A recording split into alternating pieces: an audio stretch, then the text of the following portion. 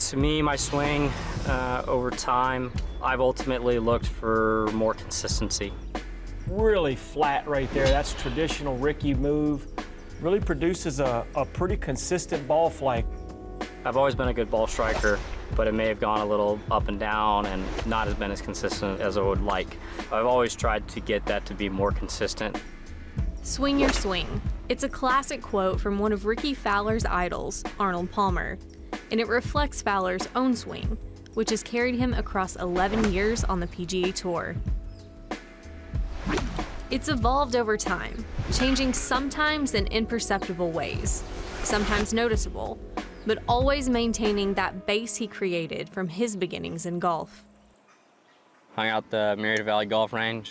That's where I uh, worked with my coach. It really helped me just kind of learn my own game and uh, didn't force me to learn any particular swing, just let me kind of dig it out of the dirt and learn it on my own.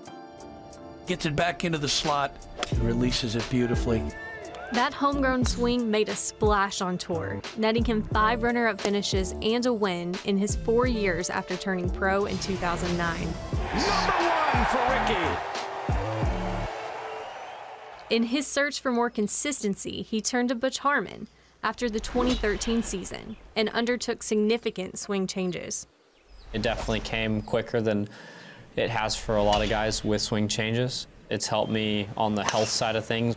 I'm in a position where I'm swinging better that's a little less stressful on the body and creating actually more power. So all in all, it's been great.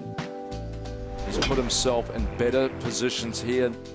That is pure rotation right there. 2014 2015 were great years. 14 outside of the majors actually wasn't great, but finishing top five in all the majors. And then 15, I had three wins.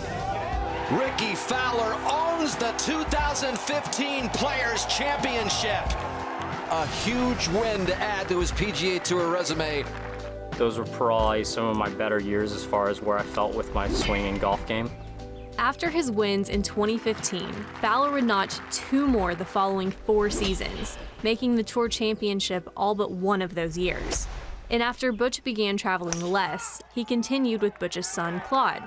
That went on for a year or so, and then I was just at a point where I just wanted something fresh and new and a tough decision. I mean, I have and still do have a great relationship with Claude, and that's where JT, John Tillery, JT's been great. Trying to get really into his right side and then fire through. It's been fun for me working more just on sequencing and how the body's working throughout the swing and not worrying too much about the actual golf club. If I do kind of the body stuff properly, the golf club is then allowed to go into the right spots. All kinds of power as he just leapfrogs through the hit. He's in a sort of a transition phase. He believes John will, will take him back to where he's playing or above and beyond, and he wouldn't have switched if he didn't think it was for the better. Playing in 14 events last season, he finished 94th in the FedEx Cup. As he implements the new changes he's working on with John Tillery, he remains confident in the end results of the swing he's swinging. That's always just been an evolution over time to try and get the swing to be more efficient. It's been a process, and I feel like I may be in or heading to a spot where it'll be the most consistent I've ever been.